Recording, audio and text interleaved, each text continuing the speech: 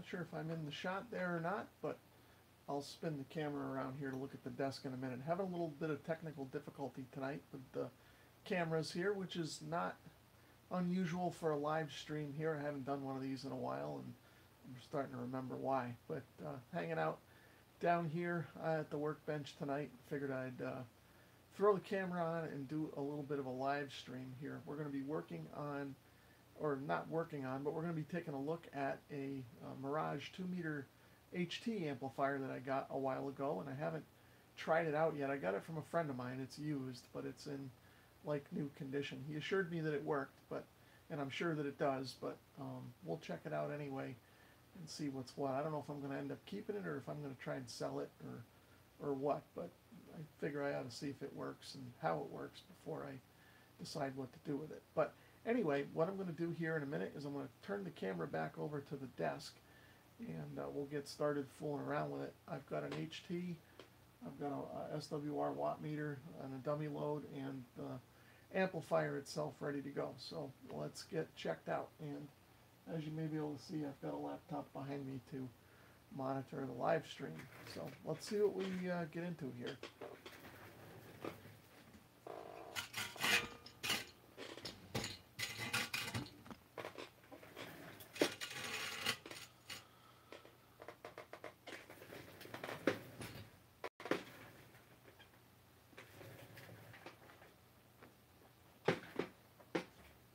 Okay.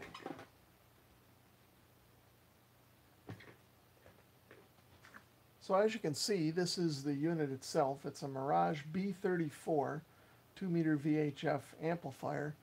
And this thing should be able to take a standard 4 or 5 watt HT and bump it up to somewhere around 35 watts or thereabouts or so I'm told. So let's uh, let's get it hooked up and see what we've got. So before, actually, before I get the amplifier hooked up, I think what I'm going to do is hook up the HT there and test it out and see what we're getting for power out of the HT before we hook up the amplifier.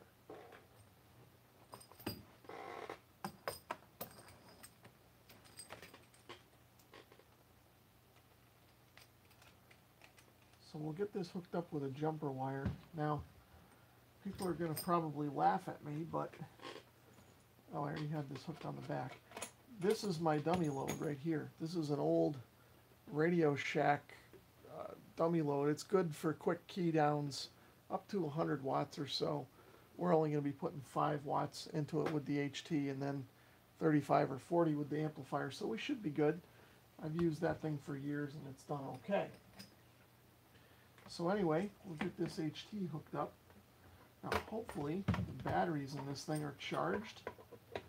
Otherwise, we're going to be aborting this early. So let's see what we got. So, for now, we'll leave the meter on the 5 watt scale.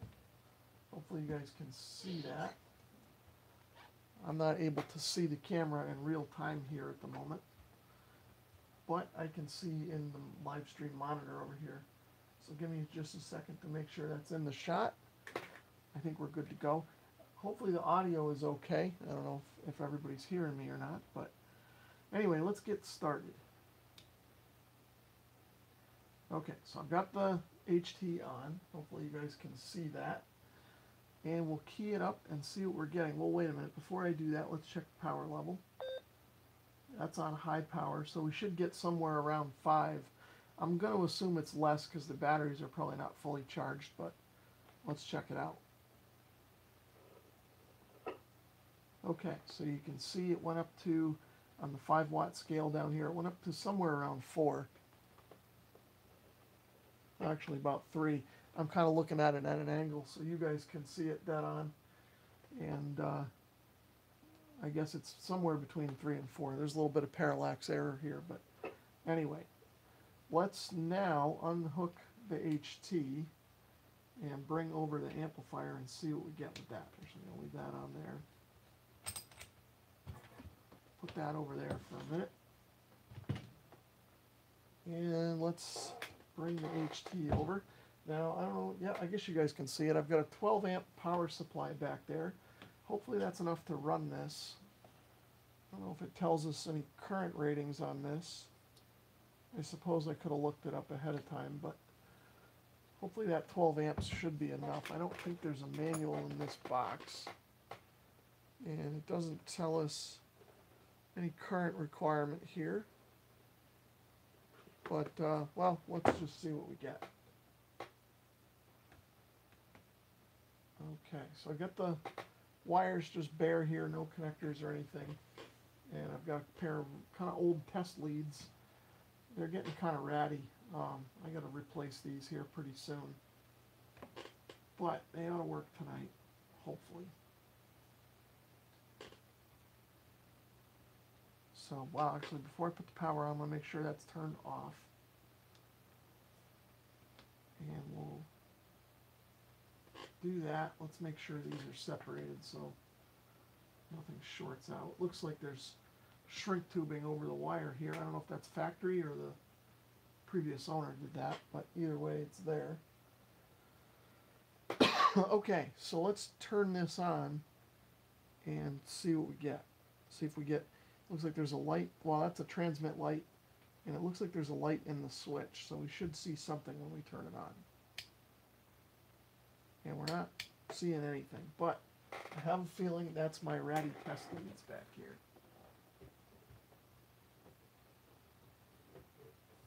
Oh boy.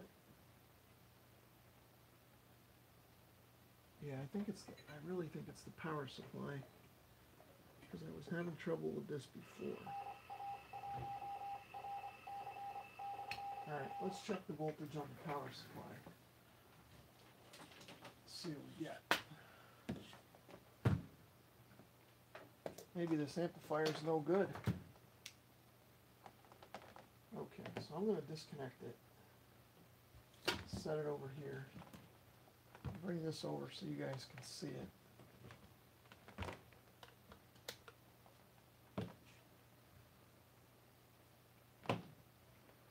And let's put that on DC. And it's only reading 7 volts, so something goofy's going on here. Oh yeah, something's loose back here. Oh wow, that's really weird.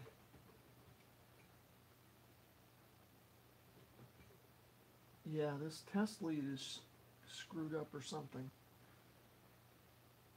There we go. Well, we're getting all kinds of bounce here. Either that or the power supply is messed up.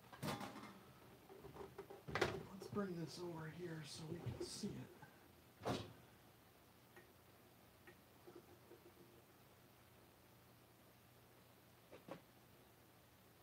Yeah, if I wiggle this around, oh look at that, when I pull on it, it goes to 13.8. Yeah, this this end of this test lead is kind of messed up. Look at that. Alright, so we got to fix that before we move any further, I guess. So, let's do that.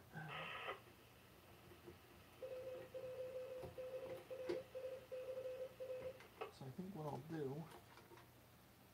is I'll just cut that end off and we'll just use a bare wire for now. I have a feeling the problem is in the crimp there. Unless the wire is broken somewhere else inside, I'm not sure.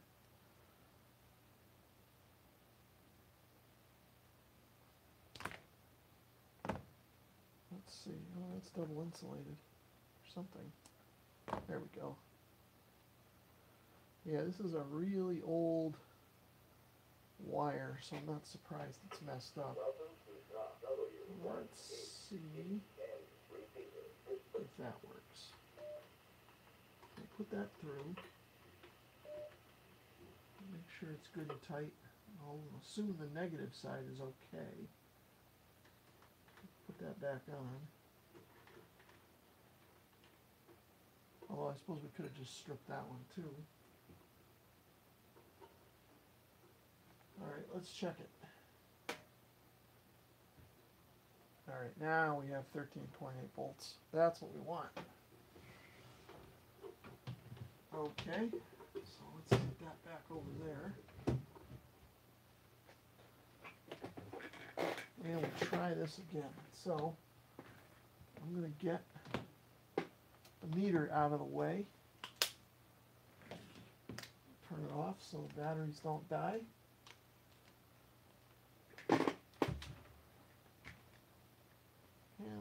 Hook the amplifier back up and see if it turns on this time.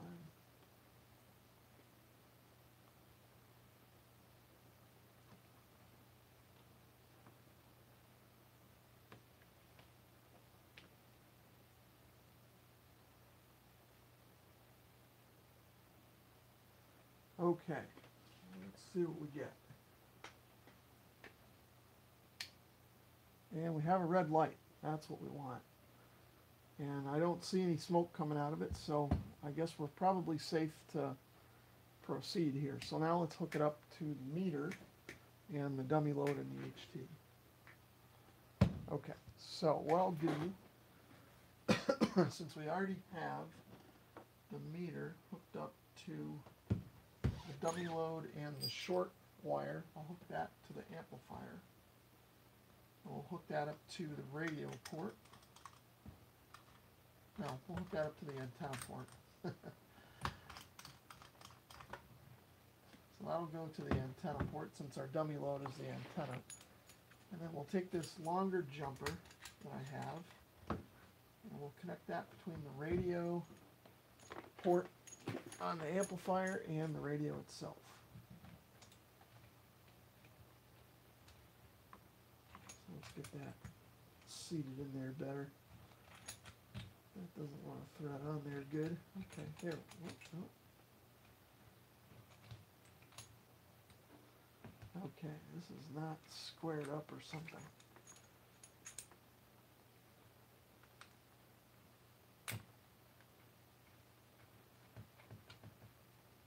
Alright, that's better. So let's get that all back there. Bring this over here. Let's see, can you guys see all that? I think you probably can. I think that's all in the shot, so let's turn the radio back on. And we'll turn, well, let's leave the amplifier off for the moment and just make sure everything's passing through to the meter and the dummy load.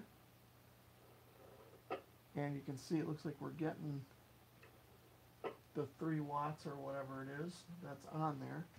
I'll probably bring this closer if you guys can, can't really see it. Let's try this again. Okay, we got about 3 watts, which is what I expected. So now what I'll do is, since this could be 35 watts, let's bump this up to 200. And let's check it out, and see if it works. Well, we got to turn it on first, I assume. And let's see what we get. Okay, well, it sounds like it's working. I heard the relay click. I'm not sure if you guys can hear that in this audio or not. But the relay is clicking, the transmit light came on, and we were getting some power out of it. So keep in mind we're looking at this scale now, and I don't know how visible this is in the camera now. But you can see that it's somewhere up around 40 watts or so, 35, 40. I guess that's, well, again, I'm looking at the meter at an angle. Let me turn that other radio down in the background.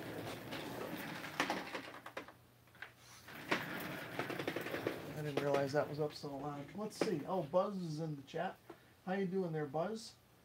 Uh, let's see. That dummy load, if you were watching, that little thing is, uh, it's a it's a nice little compact thing. You can take it with you and and uh, take it out in the field, and you don't have to lug around this big thing.